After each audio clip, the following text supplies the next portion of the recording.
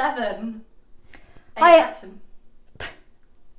Hi everyone, this is Julia from Adventure Geek, and today I want to tell you all about trekking poles.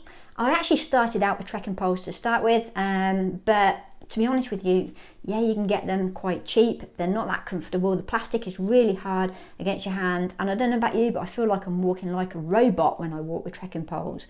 So I actually did a course many moons ago using Nordic poles. Now Nordic poles are fantastic. They don't just work the lower body like trekking poles do, but they actually work the upper body as well. So you get a full body workout and when you're doing a through hike, um, you can use them for stability as well.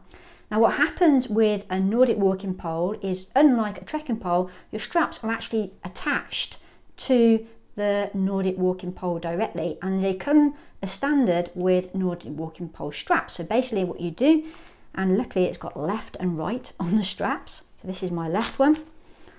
I put that in there and I'm actually attached to the pole, which is fantastic, unless you're going over stiles, which can be a pain. They all have a quick release action there. So you can do quick release, you pull that button forward and they will come off, which is fantastic.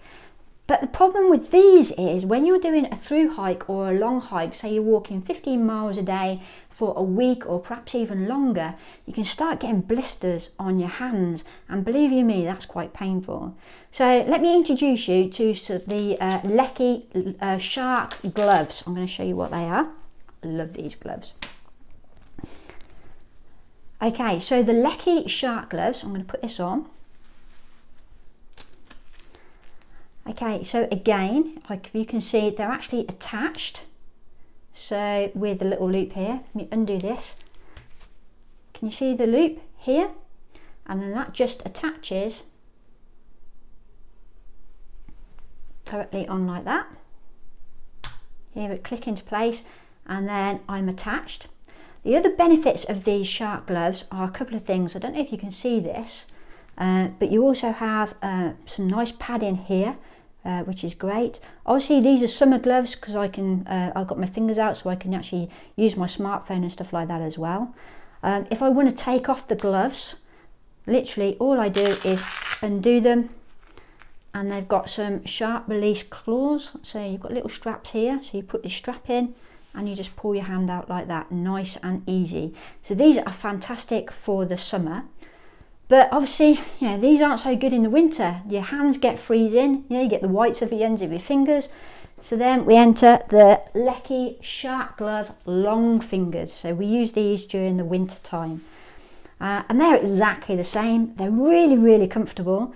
And again, if you come in and you can see the, the little strap there, you've got an additional um, nice soft area here. Obviously we've got full fingers. Uh, you don't have the pulley outy things. I don't know what the technical term for that is, but you do still have exactly the same nice padding. These are filthy.